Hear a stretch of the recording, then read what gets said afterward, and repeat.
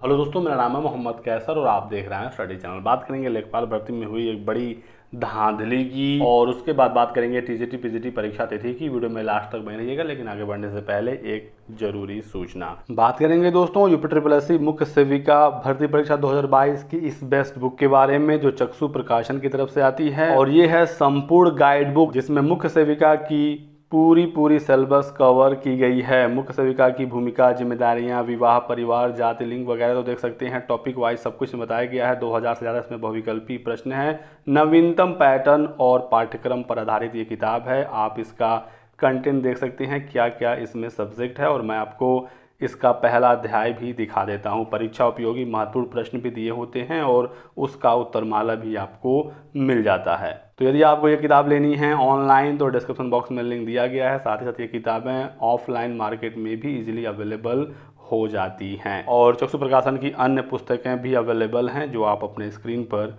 देख सकते हैं। तो दोस्तों, लेखपाल भर्ती में हुए भ्रष्टाचार को लेकर आज सुबह से अलग अलग तरह की प्रतिक्रियाएँ देखने को मिल रही हैं। वरुण गांधी जी ने आज ट्वीट किया है अपने ऑफिशियल ट्विटर हैंडल से कि लेखपाल भर्ती परीक्षा में सॉल्वर गैंग से जुड़े पंद्रह हज़ार अभ्यर्थी बैठे। किसी परीक्षा में पंद्रह हज़ार अयोग्य अभ्यर्थियों का चयन, संघर्षशील प्रतियोगी छात्रों की कड़ी मेहनत और त्याग पर पानी फेरने जैसा है। इन संदिग्धों की पहचान नहीं हुई तो छात्रों का चयन प्रक्रिया से विश्वास उठ जाएगा। और ये वाली न्यूज़पेपर की कटिंग इन्होंने शेयर की इसमें साफ़ साफ़ कहा गया है कि लेखपाल भर्ती में पंद्रह हज़ार संदिग्ध अभ्यर्थी हैं और ये कहा है एसटीएफ ने। एसटीएफ ने अपनी रिपोर्ट बनाकर यूपी ट्रिपल एस को भेज दी है। जब से ये परीक्षा हुई है, तब से ही पेपर लीक जैसी खबरें निकल कर आई थी। काफ़ी छात्रों ने इस पर विरोध किया था। छात्रों ने मांग की थी कि परीक्षा को रद्द कर दिया जाए, लेकिन सरकार ने किसी का नहीं सुना और अब एसटीएफ की रिपोर्ट में बड़ा खुलासा देखने को मिल रहा है। देखते हैं इस पर अब यूपी ट्रिपल एस फाइनली क्या कहता है और इस पर सरकार क्या फैसला लेती है। अक्टूबर लास्ट तक रिज़ल्ट भी आने वाला था लेखपाल भर्ती का, लेकिन अब जिस तरह से इस पर जाँच हो रही है, रिज़ल्ट में डिले होने वाला है और यदि भर्ती रद्द नहीं हुई तो अक्टूबर लास्ट या नवंबर मानकर चलना रिज़ल्ट आएगा, लेकिन फ़िलहाल पूरी भर्ती पर ही खतरा मंडरा रहा है। बात करें टीजीटी पीजीटी परीक्षा तिथि के बारे में दोस्तों तो छात्रों ने ऐलान किया है कि अब इंतज़ार करने से कुछ नहीं होगा, धरना करना पड़ेगा, छात्रों को पहुँचना पड़ेगा चयन बोर्ड पर, नहीं तो इसी तरीके से मनमानी करेगा चयन बोर्ड। काफ़ी समय बीत गया, चयन बोर्ड में सदस्यों की नियुक्ति अभी तक नहीं हो पाई और अभी भी कहा जा रहा है कि अभी पंद्रह दिन और लगने वाले हैं। पंद्रह अक्टूबर के आसपास चयन बोर्ड में सदस्य मिलेंगे, वो भी मिल पाएँगे या नहीं, इसकी भी कोई गारंटी नहीं है। चयन बोर्ड का ये भी कहना है कि जब तक सदस्य नहीं आएँगे, तब तक परीक्षा तारीखों का ऐलान नहीं होगा। तो ये परीक्षा दिसंबर लास्ट में जा रही है या फिर यदि इसी तरीके से डिले हुआ तो आपकी परीक्षा अब 2023 यानी अगले साल ही हो पाएगी। जहाँ इसी साल इस भर्ती को पूरा करने का दावा किया गया था चयन बोर्ड के द्वारा इसकी परीक्षा ही इस साल होती हुई नज़र नहीं आ रही, अगले साल तक परीक्षा ही जा रही है।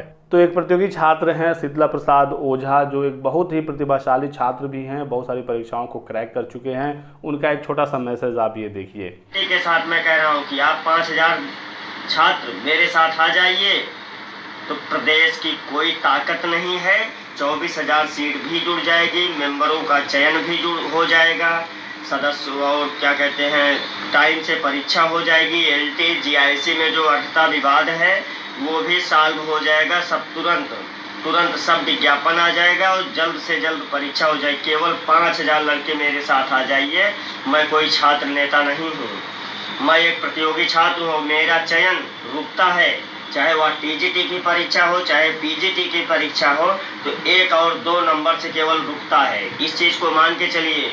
और मैं कहना चाहता हूँ, न किसी को एक पैसा चंदा देना है, न कुछ करना है, केवल आपकी उपस्थिति बहुत ज़रूरी है। इसलिए हम तो कहते हैं भाई साहब, भाइयों, बहनों को कि आप पाँच हज़ार छात्र मेरे साथ आ जाइए माध्यमिक शिक्षा सेवा चयन बोर्ड पे। हम तो छात्रों ने ऐलान किया कि यदि आप इकट्ठा हो जाएँ, एक बार चयन बोर्ड पर चलाएँ, अपनी मांग को मजबूती से रखें तो सदस्य भी मिल जाएँगे, परीक्षा तारीखों का ऐलान भी हो जाएगा और यूपीपीएससी पर यदि हम लोग पहुँचे तो एल ग्रेड का विज्ञापन भी जारी हो जाएगा। नहीं तो इसी तरीके से हर भर्ती डीले होती रहेगी चयन बोर्ड का तो आपको पता ही है पंचवर्षीय योजना बनकर इनकी भर्तियाँ रह जाती है। पिछली भर्ती दो हज़ार इक्कीस वाली सौ समय इस वजह से पूरी हो सकी क्योंकि उसमें सुप्रीम कोर्ट का प्रेशर था। सुप्रीम कोर्ट ने कहा था कि तय सीमा के अंदर भर्ती को पूरा करने के लिए। परीक्षा को लेकर दोस्तों अपडेट यही है कि दिसंबर से पहले आपकी परीक्षा होने की संभावना अब समाप्त हो गई है। दिसंबर लास्ट, नहीं तो परीक्षा आपका अगले साल जा रहा है। बाकी कोई अपडेट और जानकारी निकलेगी तो आपको सूचना दिया जाएगा। आप हमारे साथ बने रहें, वीडियो को लाइक और चैनल को सब्सक्राइब कर दीजिएगा ताकि आपको इसी प्रकार की सभी लेटेस्ट और ऑथेंटिक इन्फॉर्मेशन मिलती रहे। Thanks for watching